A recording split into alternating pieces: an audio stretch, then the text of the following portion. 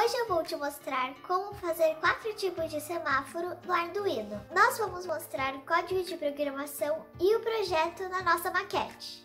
O código para controlar um semáforo como esse pode ser redigido diretamente no Arduino IDE.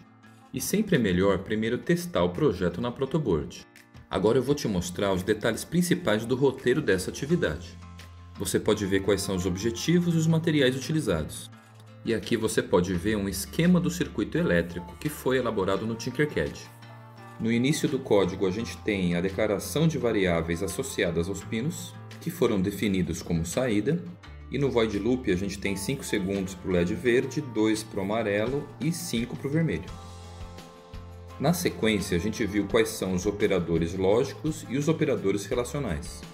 Aqui você pode ver como é possível fazer o incremento ou a retirada de uma unidade na variável.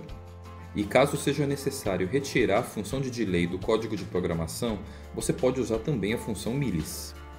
E como o comando int só permite que a gente armazene valores até 32 segundos, então para esse caso a gente vai precisar usar o comando unsignedLong para declarar variáveis estendidas, que permite que o Arduino faça a contagem de tempo até quase 50 dias.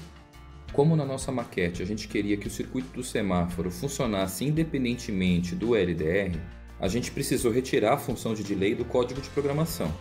Foi criada a variável i para fazer a contagem dos ciclos, e dentro do void loop a gente separou o circuito do LDR e do semáforo. E o roteiro você encontra na descrição do vídeo.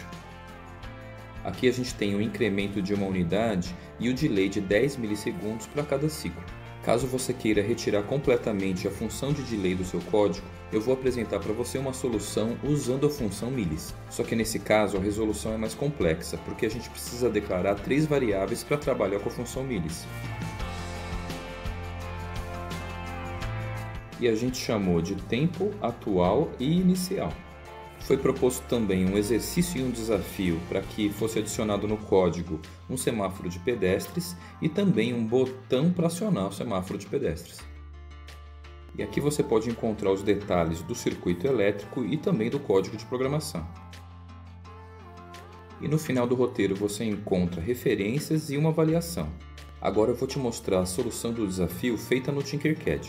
Embaixo a gente tem o circuito do semáforo de carros e em cima o de pedestres. Aqui você encontra o código de programação e agora a gente já pode inicializar a simulação. Enquanto o botão não for apertado, o semáforo de carros vai ficar verde e o de pedestres vermelho.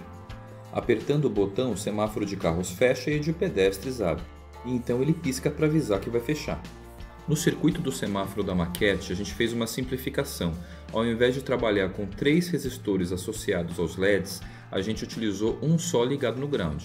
E a gente pode fazer essa mudança porque a corrente que passa por um LED não vai entrar no negativo do outro, uma vez que o LED é um diodo e bloqueia a passagem de corrente reversa. Nessa parte você pode perceber que o negativo dos LEDs foram soldados. E então foi colocado um resistor na outra ponta e feito um acabamento com tubo termorretrátil. Depois foi só fazer a conexão dos jumpers do semáforo nos pinos do Arduino. Então a gente faz a mesma coisa para o circuito do LDR, que está na parte de baixo do vídeo. Agora a gente precisa fazer a conexão da fonte com a placa do Arduino.